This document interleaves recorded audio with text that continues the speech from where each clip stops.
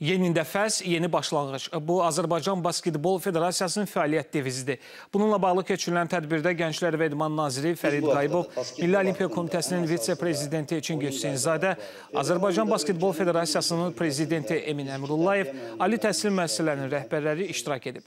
Əvvəlcə federasiya rəhbərliyində dəyişiklikdən sonra ötən 5 ay müddətində görülən işlər barədə hesabat təqdim olunub. Tədbirdə federasiyanın yeni loqosu, eləcə də milli komanda formalarında təqdimatı olub. Tədbirdən sonra jurnalistlərin suallarını cavablandıran Azərbaycan Basketbol Federasiyasının prezidenti Emin Əmrullayev ölkə çempionatının yeni mövsümü ilə bağlı maraqlı açıqlamalar verib. əldə etmə imkanını əldən buraxırıq deyə düşünürəm.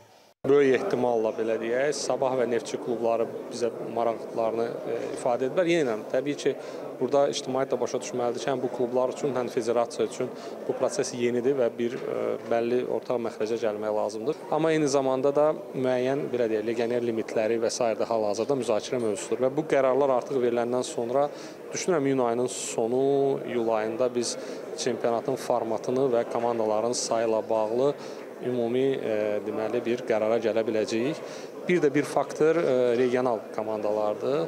Hal-hazırda universitetlərin bazasında və ümumiyyətlə bir neçə belə deyək, e, basketbola həvəsi olan insanlar bazasında biz Naxçıvan, Gəncə, Lənkəran və Quba deməli bölgələrində də çünki orada infrastruktur da olmalıdır ki, biz o çempionat komandaları dəvət edək.